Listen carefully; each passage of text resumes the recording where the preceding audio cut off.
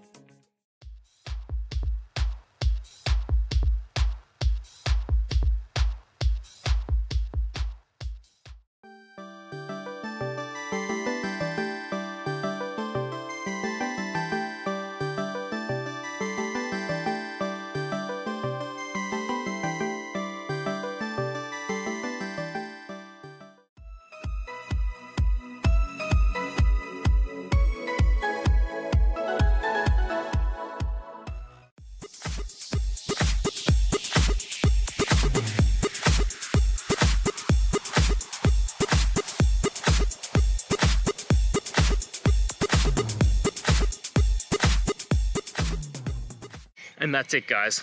I hope that video helped find the resolution you're looking for. If it did, please I'd appreciate it if you could hit subscribe. Until the next time you need more technical help, I hope you have a good one. Cheers.